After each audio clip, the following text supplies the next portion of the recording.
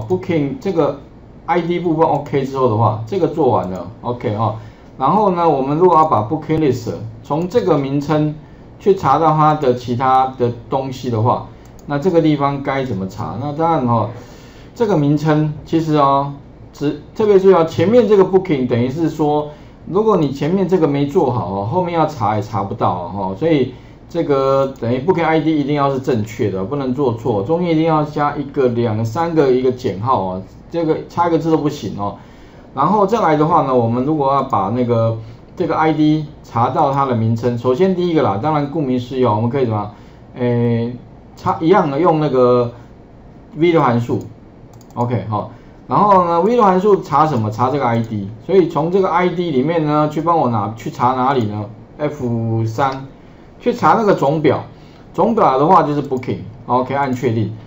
然后呢，Booking 里面的话要查回来什么东西呢？把它再点上去一下，有没有？你会发现哦，我要查的是 first name 跟 surname，然后中间加个空白。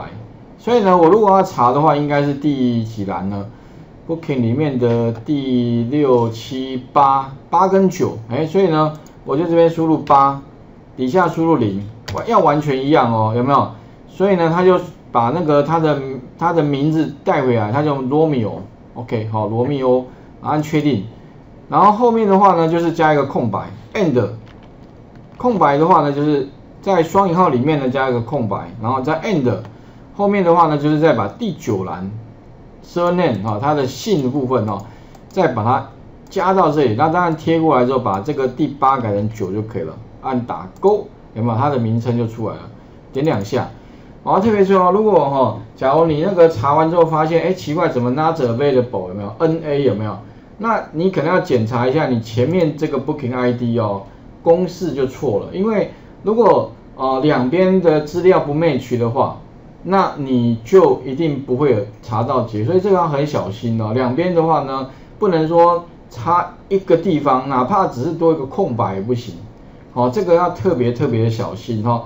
那再来的话呢，我们要 run number，run number 的话，其实这边有没有 run number 在这里有。第六栏，所以其实哦，最简单的方法呢，插入函数，把刚刚的公式，我前面加个等号，等于这个，把它改成六就可以了。所以其实哦，如果你用 v 的函数哦，要查资料还蛮快的，有没有？那几晚的话呢，就是什么，把那个第五，哎，缺个第五减第四不就好了？OK，所以哦，我们只要把第五减第四，啊一样什么，等于把刚刚的复制公式再贴了，所以那刚刚的公式还蛮好用的。第五有没有？减掉。第四，这边给它把它改成四，打个勾，OK，好，然后向下填满。那 price 的话呢比较麻烦，price 的话呢它是必须要用刚刚提过有个叫 Lu Luca price 这个，这个呃这个名称里面哈，它一定是什么呢？它的 ID 减号加 room number，哎，ID 加减号，我看。ID 在哪里？哎，ID 有没有？不就是这个的前几个字呢？前三个字有没有？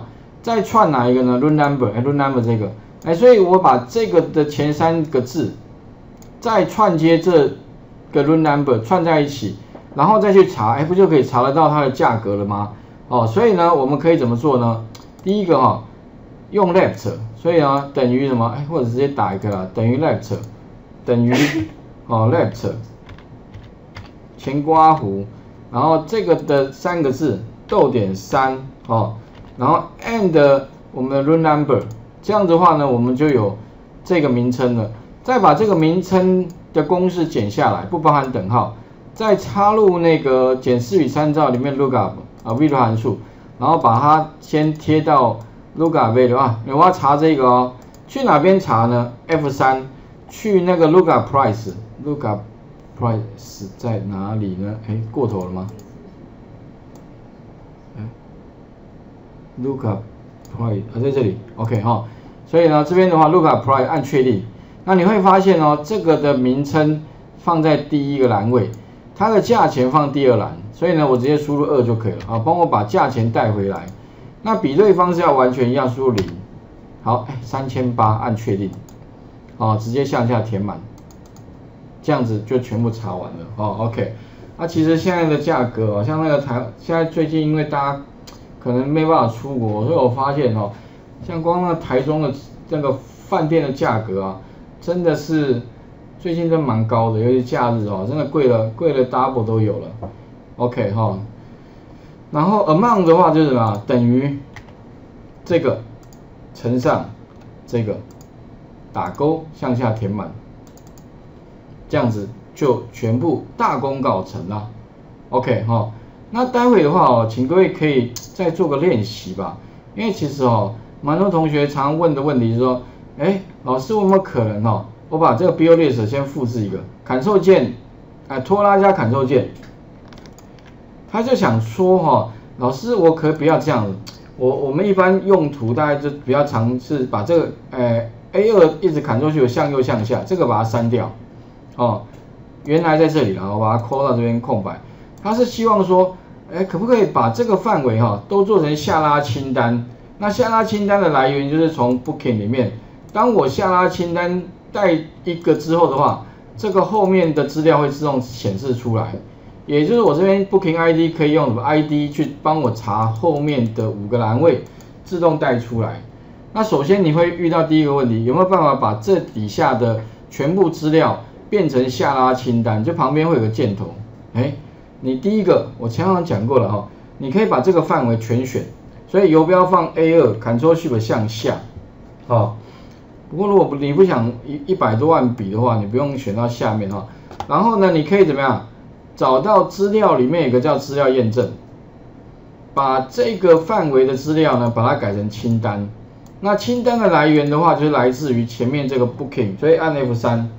它里面有个栏位叫 Booking ID，就是指的是从那个 Booking ID 里面呢，帮我把资料倒到里面来，所以你会发现像点下去有没有？这个 Booking ID 全部都出现了，哦，甚至我印象中它，如果你直接打字，它说，哎，它好像没有办法自动跳，比如你自己打 L 什么，它它没有办法，像有些之前有同学问说，老师会一边打一边写，啊，没有，它没有这个功能，哦，OK，它顶多就是怎么样，你可能可以用打的。或者是说呢，哈，甚至现在有那种条码机啊，那么 barcode reader B，然后呢，其实 B 一下里面就编号自动 key 上去，哦，有没有啊？或者你下拉清单点一下，那他是希望说，哎，老师可不可以选一下之后哈，他这个后面的几个资料呢就自动带出来了，那我就可以不需要说每一次哈都还要自己去再做一次公式，或者是说自己再去查，哎，怎么做？